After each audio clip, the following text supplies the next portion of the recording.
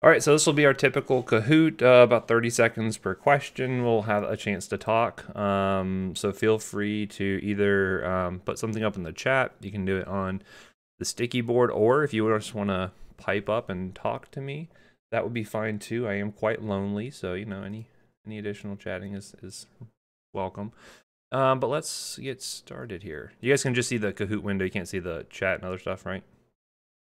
Okay, good. Just make sure sharing it effectively, appropriately. All right. Hopefully it does Kahoot correctly. All right, so which of the following medications do we think would be best suited for migraine prophylaxis? We do sumatriptan, dihydroergotamine, or propranolol, or maybe a little bit of Percocet. What do we think?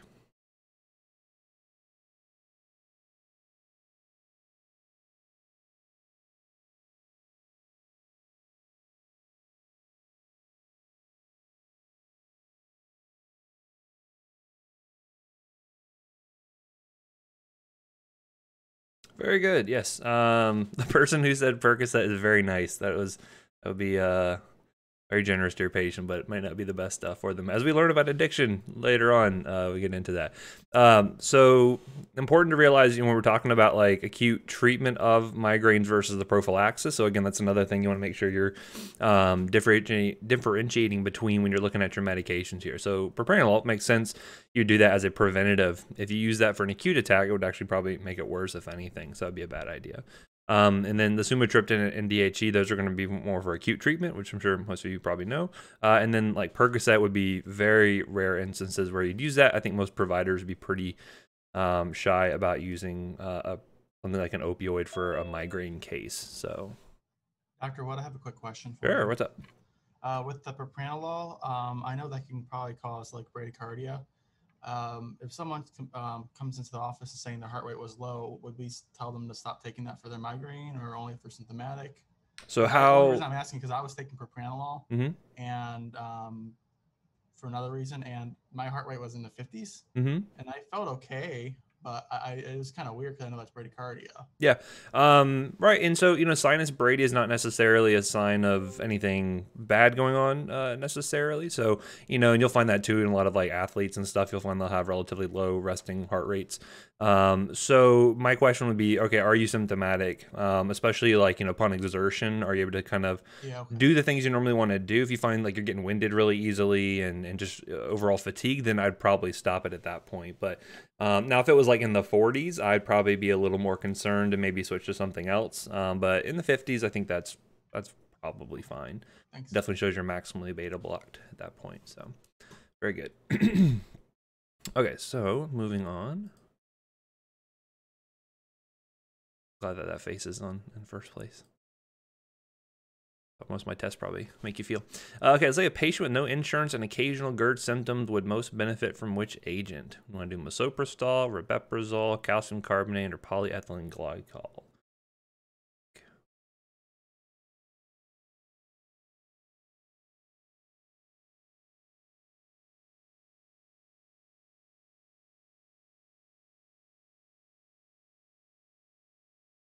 Chat too.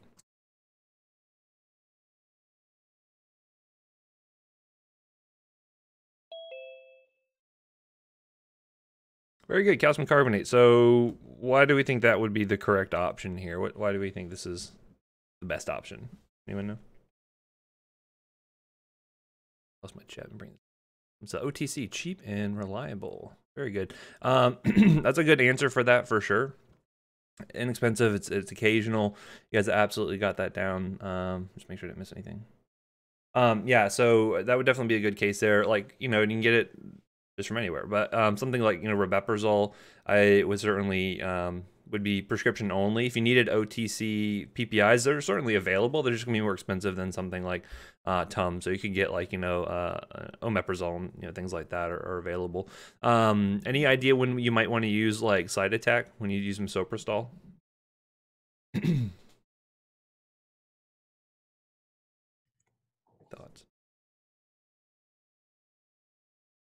They can't DC NSAID. Yeah, so that's going to be the main case there, right? So if you have someone who's on an NSAID and they can't uh, come off of that for whatever reason, or maybe, and we'll talk more about COX2 selective inhibitors later on, um, when that's not going to be reasonable to switch them to, then something like misoprostol would, would certainly be reasonable. Yeah, do not use it in pregnant patients. It is uh, would would potentially induce an abortion, um, which is not be ideal for those patients. Um, although you may use it occasionally for like an ectopic pregnancy. Uh, I've seen use it in, in a rare, few rare cases there. Um, but yeah, so that would be the good case for that. Uh, obviously, Miralax would not do anything for GERD symptoms. That's going to be for uh, constipation. So, all right, moving on. Again, don't worry about interrupting me. It's totally fine. I got all, all day to talk to you guys. Uh, which of the following antiepileptics can cause pancreatitis and hepatotoxicity? Be clobazam, benztropine, valproic acid, or lorazepam.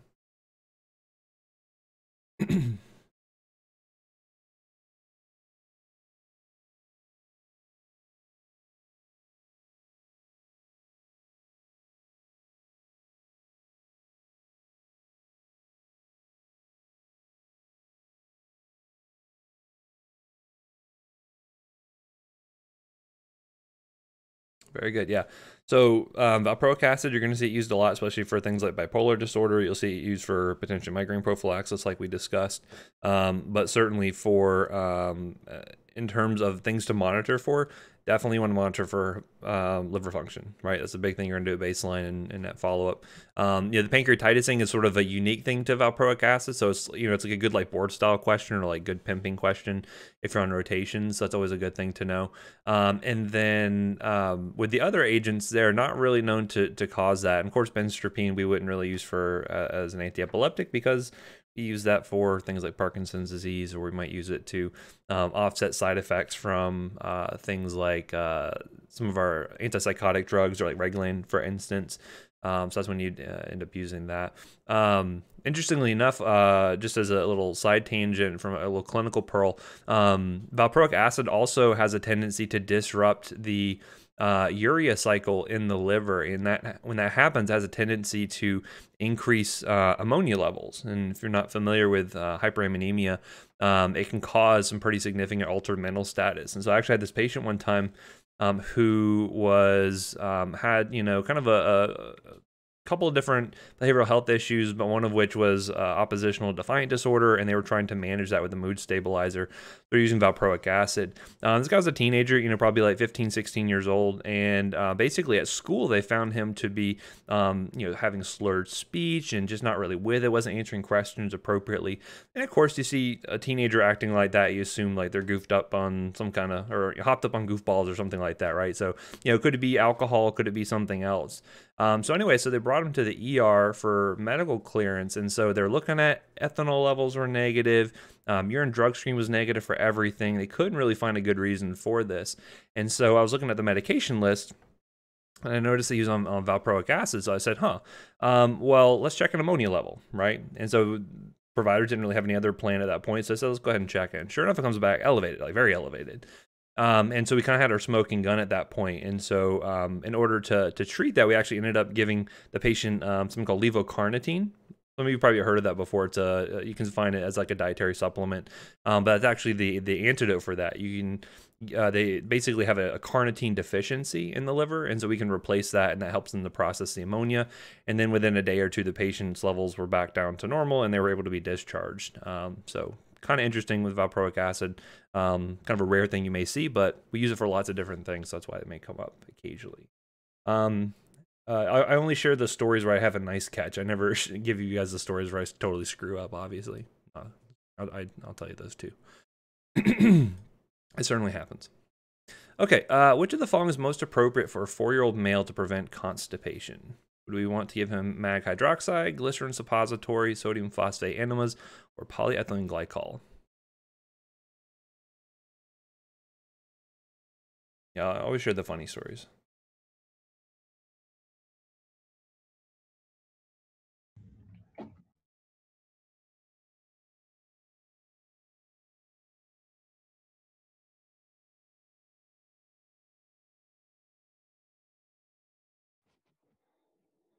All right. So um, key key point here is again the prevention of constipation, right? So we're talking about like kind of like daily management.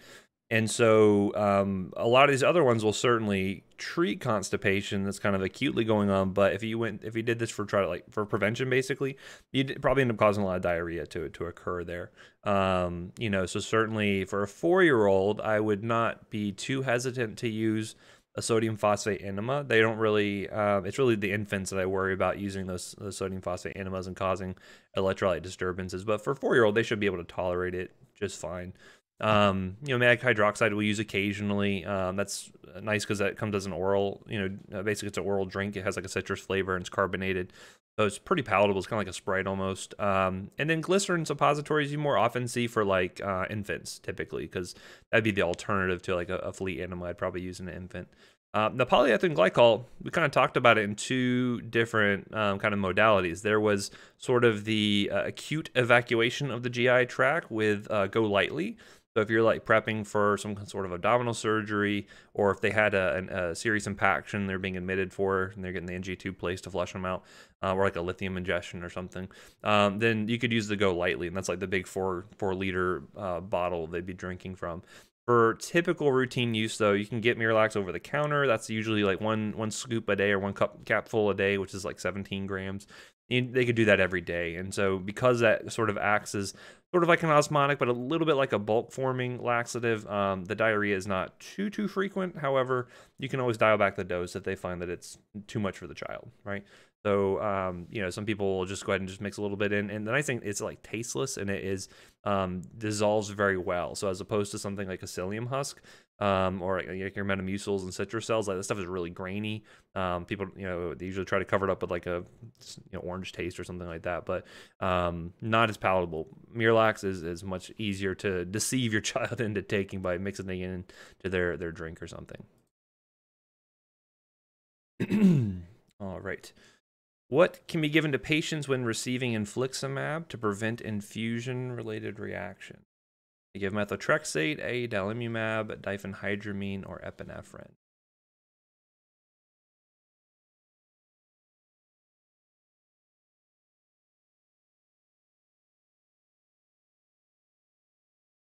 Again, it's not just, oh, I know that drug can be used for this, but how we're using this is what we're trying to key in on, right? It's an important thing. Anyone can look in a book and see a list of drugs to use for something, but how we're using is important. And most of you got this correct. So that's fantastic. So, um, you know, those infusion reactions are fairly common, especially when you have those monoclonal antibodies. Um, they're chimeric like that. You can see the X on the name, which kind of clues you in. Um, so it's very frequent. So that, and, and again, what else could we give in, in conjunction with a diphenhydramine in order to prevent some of those reactions?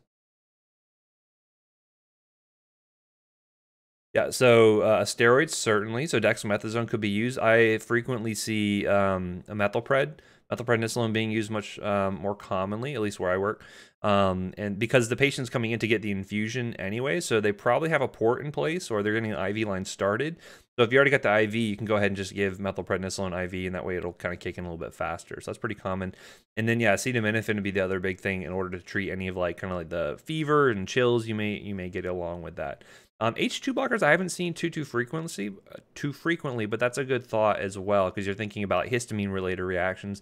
I don't see a lot of gastrointestinal stuff though, but you may find a patient or two that they may require that potentially. Um, in terms of epinephrine, when would we employ that drug?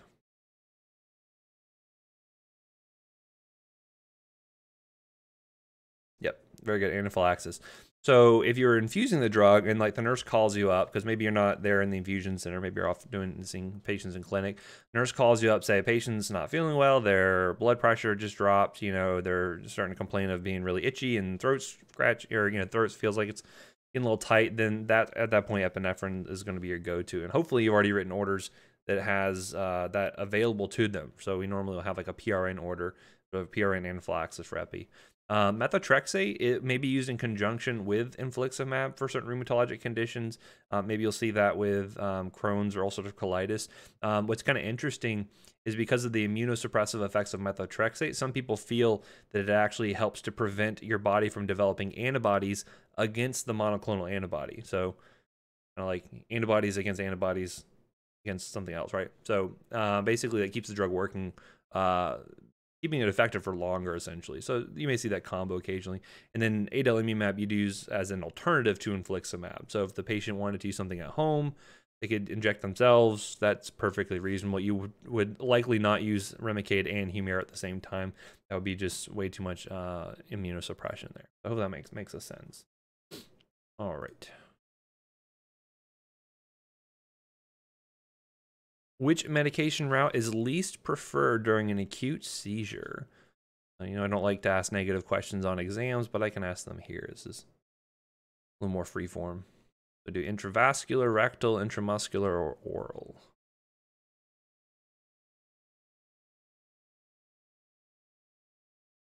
Very good. Yeah. So why would we not want to do oral? Choking, aspiration, control. Yep, absolutely. Good. So someone who's having active seizures, they're probably not going to be protecting their airway super well, and they could have a chance that they could. Um, yeah, I probably wouldn't want to stick my finger uh, anywhere near their mouth as well, so that could be challenging. Um, so really, any other route's fine. So I think rectal was probably sort of like kind of the you know, the just the norm for a long time, especially on an outpatient basis with things like um, diazepam rectal gel. But nowadays, I'm seeing a lot more um, of our neurologists recommending intranasal for outpatient use. Um, so again, much less cumbersome. You don't have to get the patient undressed, and it's just uh, a lot more uh, convenient from that standpoint. So that would be pretty often on the outpatient side of things once they get in contact with EMS or they're coming in an inpatient, like in the in the ER setting, um, really any of these could work. So like intravascular, intramuscular um, would be obviously the most common ones. Rectal, you're probably not going to mess with once they're you know in the hospital. Intravascular can be can be a challenge to get, especially if they're having tonic clonic seizures. Um, but occasionally you can hold them down potentially. You can, um, you know, maybe you can get an IO in place if that's appropriate. Um, intramuscular is relatively easy though. Just like just kind of jab them and, and you're done. Um, so yeah. So again, think about the routes of drug administration because that can be important.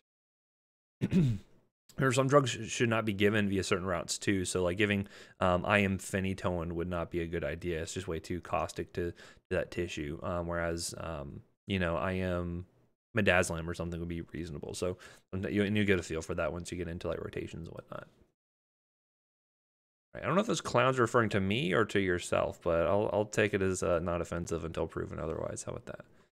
Um, all right. So, which agent would allow for the fastest healing of a gastric ulcer? Mag hydroxide, lansoprazole, sucralfate, or cimetidine?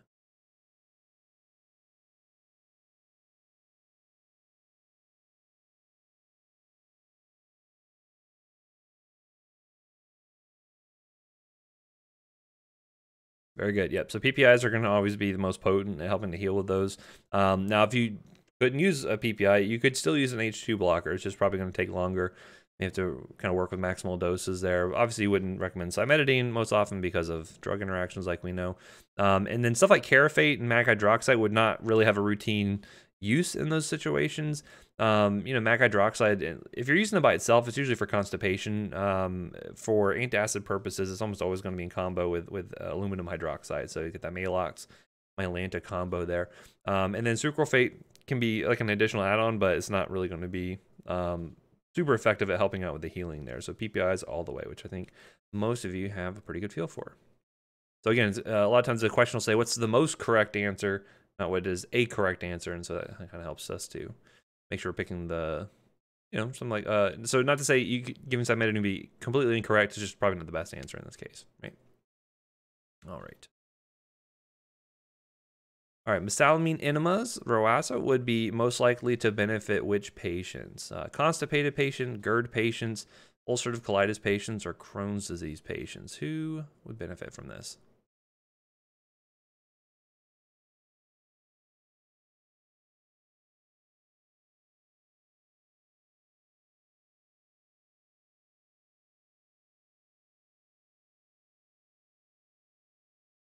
Kind of going back to knowing which drugs are used for what. Oh wow, even split here almost between uh, the constipated and the UC patient. So um, remember, uh, mesalamine is going to be an anti-inflammatory product, right? So it kind of gets converted into um, 5-ASA, and it's going to have anti-inflammatory properties for patients with um, uh, you know autoimmune conditions like ulcerative colitis or Crohn's. Uh, but the dosage form matters here. So because it's an enema, it's not going to be good for Crohn's, which is going to be much more diffuse. Um, and then here for ulcerative colitis, really the enemas are going to be better for more like you know very distal end of the the um, uh, colon, you know, the rectum, left-sided colitis. But if it's more diffuse than that, then the enema will not be the best choice for you there, right? Um, again, just because you see enema, don't automatically go to thinking constipation because that will uh, not always be the case there. But that's why I was trying to be a little tricky with that to see if you recognize the drug itself, what it's used for, and then how we're using it based on the dosage form, right? A little tricky, not too tricky. Kind of rooting for the Brontosaurus because my kids are super into dinosaurs. I'm hoping hoping you do well, Brontosaurus. Or is it a Brachiosaurus? Who knows? Uh, which of the following antiepileptics uh, work by facilitating increased GABA activity? Be phenytoin, phenobarbital, carbamazepine, or lamotrigine. Exactly. Who's not into dinos? We actually um we're gonna go in a week or two. There's some I can't remember it's called Jurassic Quest or something like that, but it's like an outdoor like dino like a trip through Jurassic Park. I'm hoping the animatronics uh, do not uh, like the AI doesn't go rampant and try to you know, eat us, but uh, hopefully it'll be cool for the kids. Oh, we did go to one outdoor zoo place they have. Um, it's like south southwest of uh, Orlando, and it was probably like a 30 minute drive to get there. But um, it was actually pretty cool. Basically, just kind of driving through and like animals just come up to your window. and give them lettuce and stuff. It's pretty neat. Um, anyway, so yeah, so looking at the activity of these drugs here, remember mechanisms are important, especially if you're looking at um, using multiple meds together. You want to make sure you're picking complementary mechanisms. So in the case here, actually all three of these that are the incorrect answer are sodium channel blockers, right? So they're blocking sodium channels in order to um, kind of decrease the hyperexcitability of those neurons. Whereas with phenobarb, if you recall, it kind of helps to uh, allow GABA to work better. In some cases, it can actually help to open up those GABA channels themselves to allow that chloride to flow in. Um, so this one would be working through GABA. If I had a patient who, for instance, um, you know, was already on phenytoin and I wanted to add something onto that regimen, I probably wouldn't pick another sodium channel blocker, right? I'd probably pick something complementary, like maybe a phenobarb. Um, so you wouldn't use like lamictal and dilantin together uh, because they're both kind of doing the same thing. And so if one's not working by itself, then adding more on uh, that's doing the same thing is probably not going to be the most effective use of, of your medications there. So that's why I want to complementary stuff.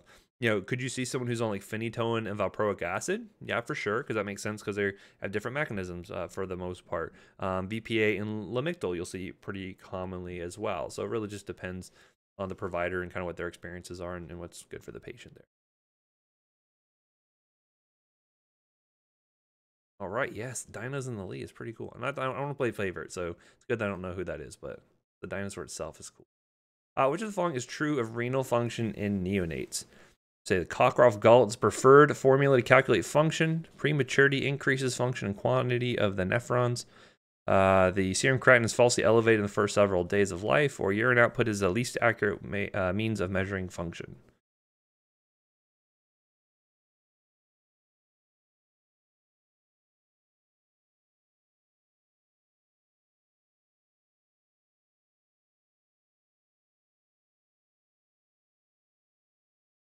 Very good. Yeah. So why is the serum creatinine falsely elevated?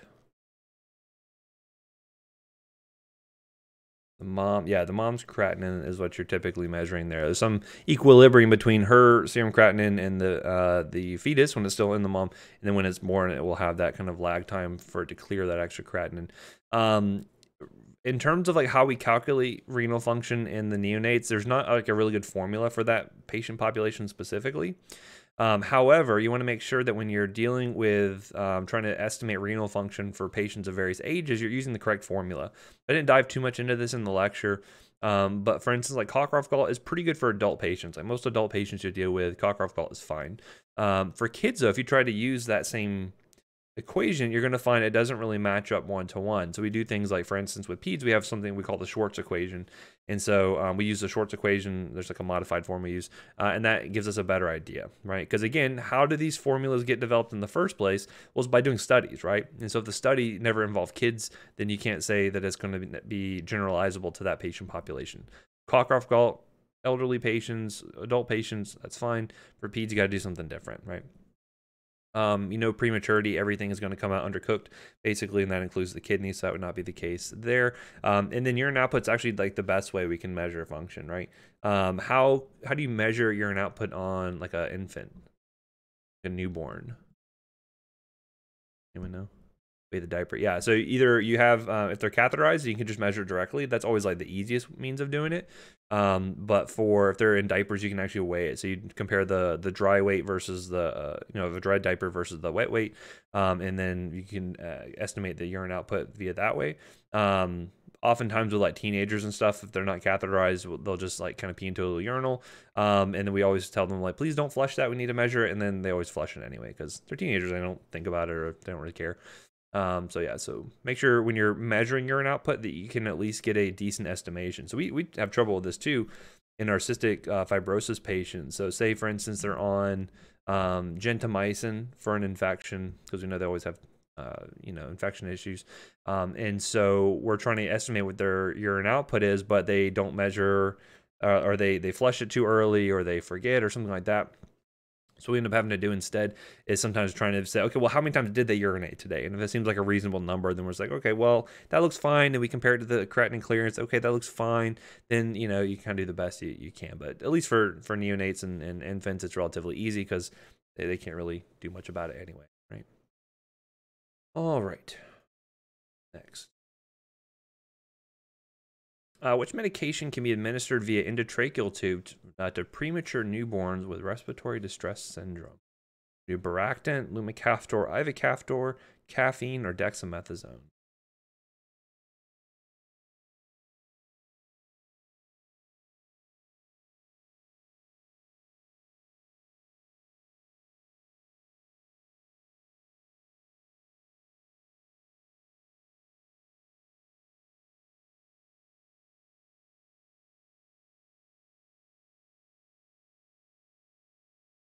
That's very good.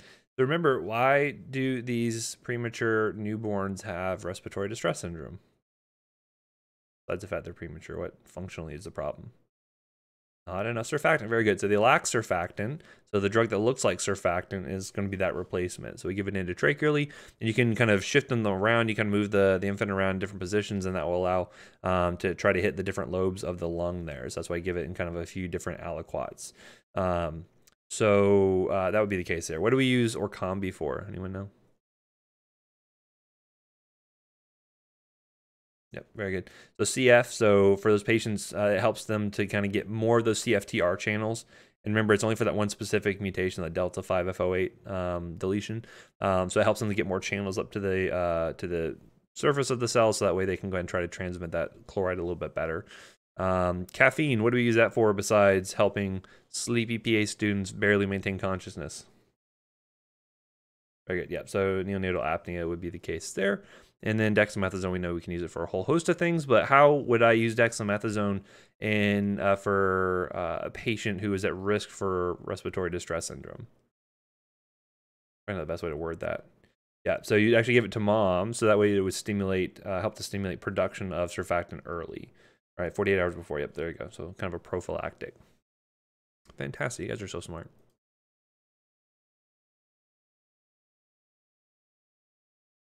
Okay, which agent can be used as a prokinetic in a patient with gastroparesis? The esomeprazole, sodium bicarb, metoclopramide, or cannabis sativa? Hmm. Speaking of which, I just learned. So, if you guys are not familiar, um, the main psychoactive component of marijuana, as, as we talked about, is delta nine THC. I just learned about a delta eight THC. Apparently, that is uh, some people are trying to utilize, and I guess it gives you like a little bit. Um, it's kind of like a, a, step down in terms of the psychoactive effects of delta nine. Um, yeah, it's, it's not illegal yet. That's the question. Is it going to be? Who knows? I think a little. I mean, it's at least partially made in, in the plant itself. I think it's just in very low levels. At least what I was reading. Granted, it was uh, I don't know it was the most reputable site. It's hard to find good reputable information about some of that stuff. Yeah, from him. Yeah. So who knows? Maybe that'll be something we'll see more of. Um, anyway, so yeah, so if we're using for prokinetic, that's what metoclopramide's um, mainly used for, or you may see it uh, more often for nausea, vomiting. It really just depends.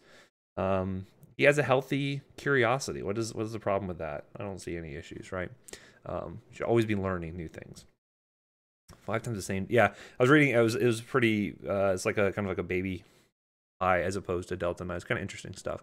Because again, like it's in in you know too. Um, it's always um you know, it's funny. Like at the where I did that, my fellowship at the Poison Center, um, we always had to make sure that like um, you know it was based out of the hospital, and so we were on their internet servers, and so oftentimes we're getting flagged for going to these like websites like Erowid and and different places like BlueLight.ru. I don't even know if that's around anymore, but all these like really like heavy duty like illicit substance websites, and they're like, what in the heck are you? What are you guys doing over there? And like, well, we have to do research. We have to find out about this stuff because our patients are doing it, so we want to learn about it. We're not doing it for our own know, our own purposes there.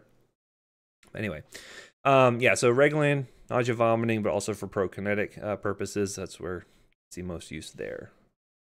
All right.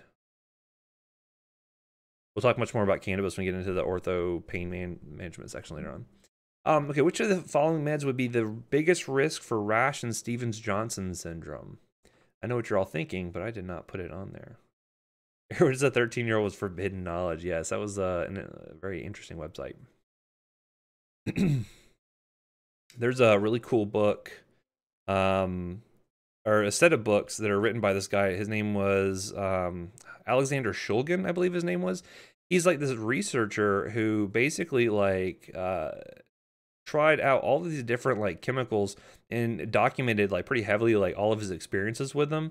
And so he has a couple of books. One's called um, PiHKAL is phenylethylamines I have known and loved, and then TiHKAL, which is tryptamines I have known and loved.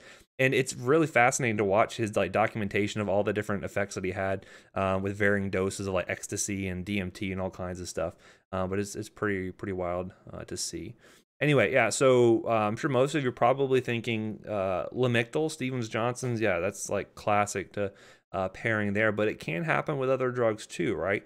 So things like carbamazepine, phenytoin do carry that risk, which is why it's good to be vigilant, um, especially if you have a patient who's presenting with what you think might be Stevens Johnson's, and there are multiple medications. You do want to screen for all of them, not just the ones that look like the smoking gun, basically, right? All right. Up next, what would I worry about with um? Actually, I'll ask in just actually I can stop right here. So, uh, what do I worry about with um Keppra? Is there anything particularly unique to Keppra?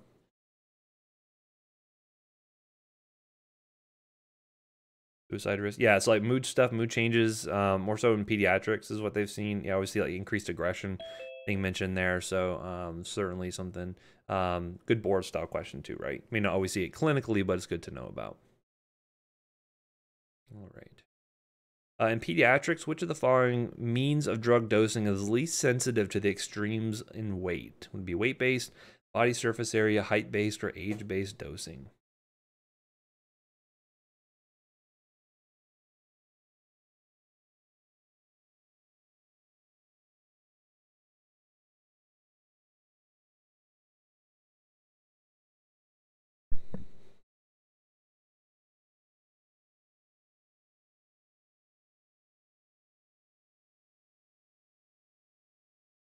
Very good. So body surface area, why is that least sensitive to extremes in weight?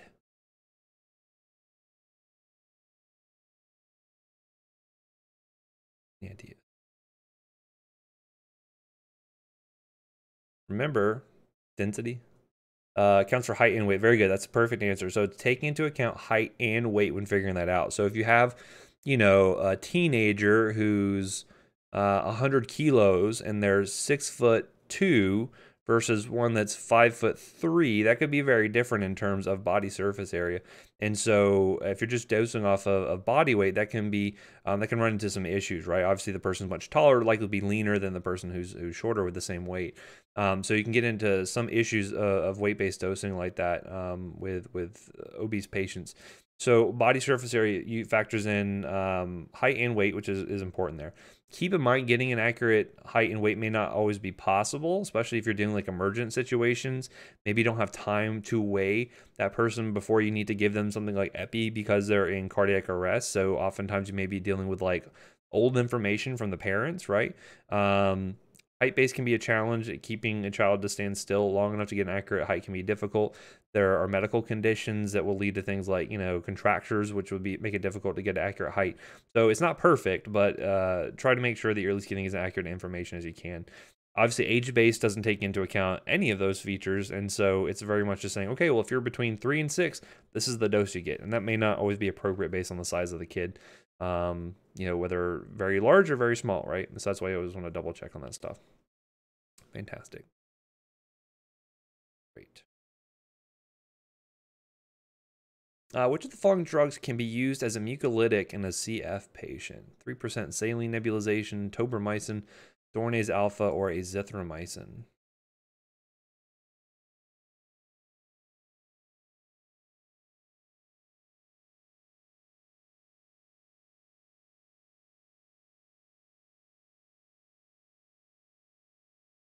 Um, I don't know why I didn't put this as two right answers. Oh my goodness, I totally screwed up all the, the scoring now. You guys are gonna break me over the coals of my evals now because I screwed up this Kahoot. But actually, there should be two right answers. I forgot to click off the other one. But yeah, there's actually uh, three percent saline nebulization and Dornase alpha. You may even see like seven percent saline used occasionally.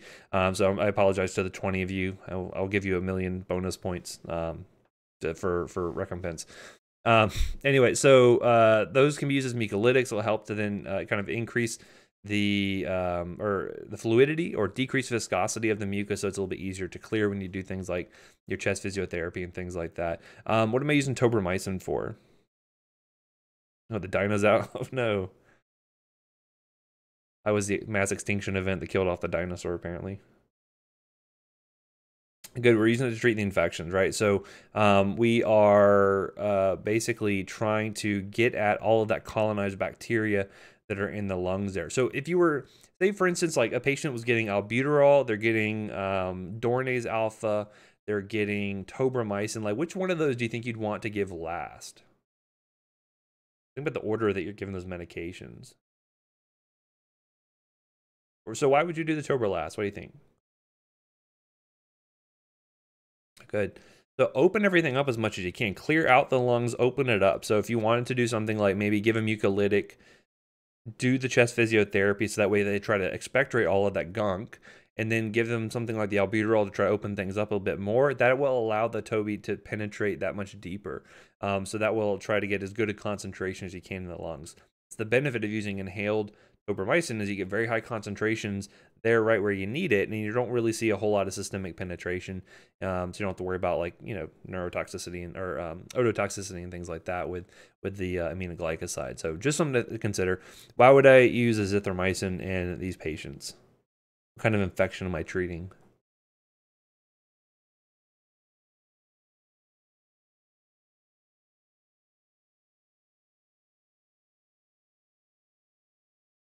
Any idea? Well, remember, they're not taking it um, for any infection in particular, right? Remember, these are patients taking azithromycin chronically. Uh, you may see like a Monday, Wednesday, Friday sort of schedule they'll be on. Um, and so that is for inflammation. There's some anti-inflammatory properties. Uh, it's also why you see some patients with COVID will actually be treated with azithromycin. They're just trying something. I don't know if there's a whole lot of evidence behind it, but um, yeah, it, it, could have some motility effects, but that's not really the issue for these CF patients. Um, so the azithromycin, because think about it, their lungs are chronically inflamed. They got all this like infections going on that are just colonized, um, chronically inflamed. It can lead to damage of the lungs over time, um, and so that's why we do the azithromycin. Right now, do I know there's any like survival data that says that they do that much better? Not really sure, but it's pretty standard of care uh, for them to get that chronic azithromycin. Like I said, usually Monday, Wednesday, Friday sort of schedule. So again, kind of a trick question. Say what infection are you treating? It's really kind of all of them, um, and none of them at the same time, so to speak. All right. All right. Uh, prior to starting treatment with alemtuzumab or Lemtrada, MS patients should be tested for Lyme disease, tuberculosis, influenza A and B, or strep pneumo.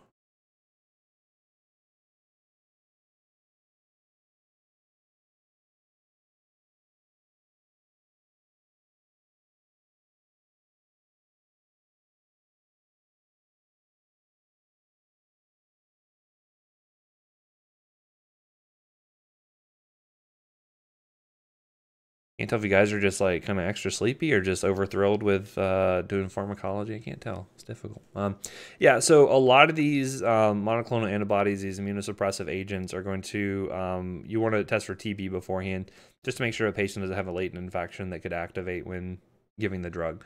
Um, so you'll see that a lot, and especially when you talk about um, like Remicade and things like that. When we get into rheumatology next, um, none of these other ones you routinely need to test for, so that's uh, would not be the case there. Um, someone said for CF patients, would you give them tobramycin chronically or just when they have an infection? Um, so for CF patients, again, when you initiate uh, first, um, maybe dependent on the patient or the provider, but um, what you're going to find is um, that they will frequently be on it chronically, but they'll be on sort of a cyclical schedule, mainly because you don't necessarily want to have that sort of pressure on the bacteria all the time because you may find resistance can be a bit of an issue. So you'll find frequently they'll do it for like 28 days on and then 28 days off and they'll kind of do that cycle back and forth um, to uh, kind of help clear out some of that colonized bacteria and then kind of give the patient a break and then put them back on it and off again. So you'll see that pretty frequently. If they're having an acute exacerbation, then you go ahead and treat them regardless. And it's uh, pretty frequent that you'll see um, something like think how often I see this, but um, you know, if you think about having one of these CF patients come in, they're having an exacerbation, you got to treat empirically. Um, you know, so they may be on Vanco, Levaquin, um, and inhaled Toby, for instance, right? Um, so that would that could be your three drug regimen, two different drugs to treat Pseudomonas, one to cover for MRSA, right? But again, make sure you're checking these patients their profiles out before you start prescribing because if you have back if you have information, historical information that says they're typically resistant to X, Y, and Z drug, then you don't want to use it because you're just kind of wasting time and the patient may decompensate further um, by delaying appropriate care. So just something to consider there. All right. Which agent would not be used in the treatment of H. pylori infection? What do we think? We not use amoxicillin, bismuth, omeprazole, or alginic acid. Be pretty straightforward.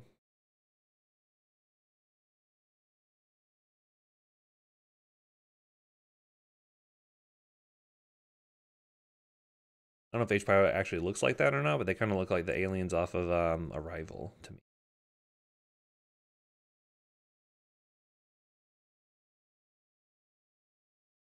All right, remember that um, your three drug regimens typically include uh, two antibiotics and usually some sort of acid suppressor, but a lot of the four drug regimens, that fourth drug is bismuth subsalicylate, that Pepto-Bismol we're adding on there. So that would certainly be um, something we would use for the treatment of H. pylori. Remember, not only does it kind of help out with sort of coating the stomach, kind of help soothing it, but it also does have some anti-infective properties in and of itself. It doesn't really like the aspirin there.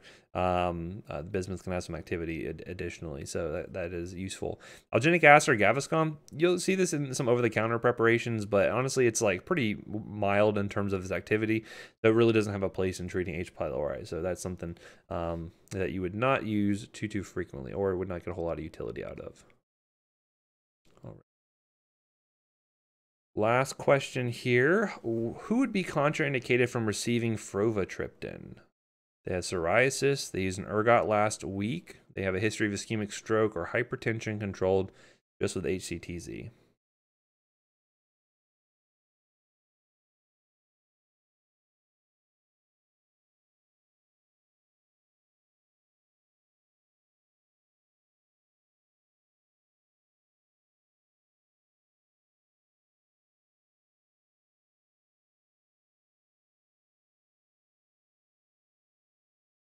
Right. So think about the time frames for when you can use these drugs together, right? So what's the time frame that you don't want to use an ergot and a triptan together? Any ideas? Any guesses? 24 hours. Yes, definitely. So 24 hours, if it's within that time frame that I would not use the two, um, or I would not use it frovatriptan for that patient. If it's last week, I don't really care because that drug is out of the system by then. It won't really make a difference.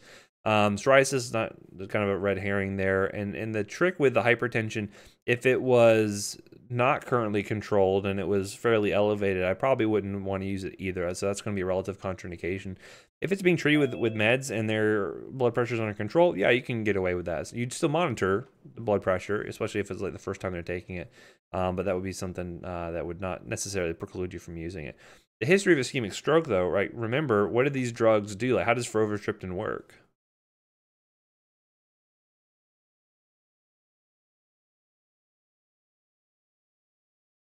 vasoconstriction, right? So if they have a history of ischemic stroke, presumably they have some degree of uh, maybe stenosis or some blockage, and so if you cause vasoconstriction around that area, you could induce that again.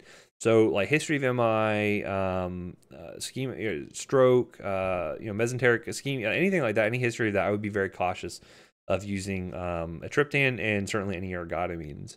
Um, what's the additional contraindication that ergots have that triptans don't?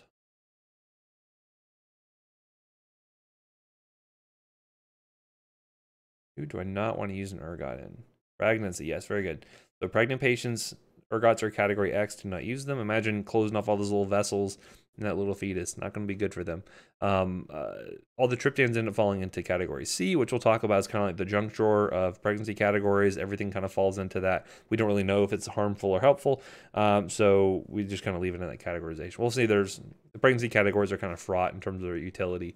Um, we'll get talk about that extensively when we get into OB-GYN coming up next. So, or when we get to it. Anyway, so man, it's weird to see 2021 on there for sure. Hi, well, hello to you as well. Uh, who's high? Who's number three? Anyone? Remaining anonymous. Oh no. It's like hi no no. It's like uh like your toddler's like first words. That's pretty interesting. Uh, and then who's the dinosaur? Oh, good job, Caitlin. All right, Isabel, fantastic. Um, all right, so that does it for our Kahoot. So that's kind of the review. Um, your answer, your free answer. Well, I can't tell you. I got to tell Isabel. I'll privately send her that B is the the free answer. All right. Anyway, so um, any questions from you, guys at all? You've won four now. It's pretty good. It's awesome. But remember, this does not necessarily indicate how you'll do on the test. So, you know, don't get discouraged. You got plenty of time. Prize for last place. You get um, my condolences. Should we for the next exam? Do you talk about like the, the one on Monday or the following one?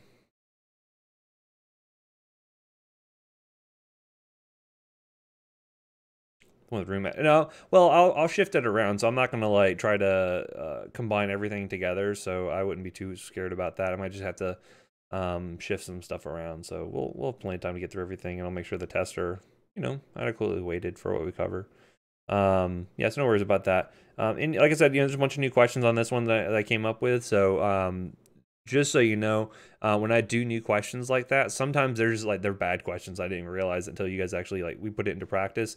So I always look at those with kind of an extra um, uh, take it with a grain of salt. If you guys like, you know, if you just totally bomb that question, it could be because it's a bad question. So I always try to look at those to make sure um, that they're not, you know, performing poorly and they might be, you know, considered for for give backs and stuff. Because either I worded something weird, or I didn't teach something appropriately or uh, effectively, or whatever the case may be. So um, just so you know, I always I always take a look at that stuff to make sure you guys are getting a fair shake for all of that. Um, anyway, so any, any other questions I can answer for you all? Okay, Paige, uh, I'm not sure it's your fault at all, but just a general question. Why have a pharm exam on a Friday? I don't know what happened to the schedule there. Actually, I, I keep forgetting to ask Professor Lack about that. I think one of the tests is on Friday, correct? Just one of them. I I don't know what happened to that schedule. That's we always know to put it on on a Monday. You think April Fools? I don't know. They're fooling me too if that's the case. Um, I would, uh, you know, if well, you guys are really to be fair, it used to be random. It used to be Monday, Wednesday, or Friday. So um, you guys, that's only been uh, relatively recent in the past three, three, four years or so. We've done that. Um, if you all have grave concerns about this test, um, then I would recommend uh, maybe talking to your class president to bring up your concerns with Professor Lack, and maybe something will happen. I don't really get to set the schedule, so yeah, up all night. I, I apologize for that. Um, so the next test, let me, um, I haven't posted it yet, but next section will start with the rheumatology. Um, let me find.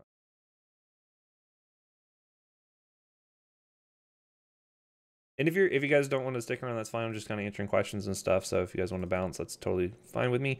Um, so we'll do rheum, we'll do ortho, which is like more focused on pain management and kind of ancillary stuff. We'll have behavioral, OB-GYN, and then I'd set for endocrinology, but that might get pushed to the next test as well. So it might be rheum, ortho, behavioral, and OB-GYN. I'm trying to mimic kind of the order of the tests that you're taking, but it's, again, I can only do that with so much ability. So. Oh, good. All right, Alyssa's already going to be talking about it, so that's, that's good. Uh, honestly, I don't care when the test is, so it's more of a, a, scheduling issue. So that we may not be able to move it, but if we can, then I, I don't care. You have my blessing. Okay, well,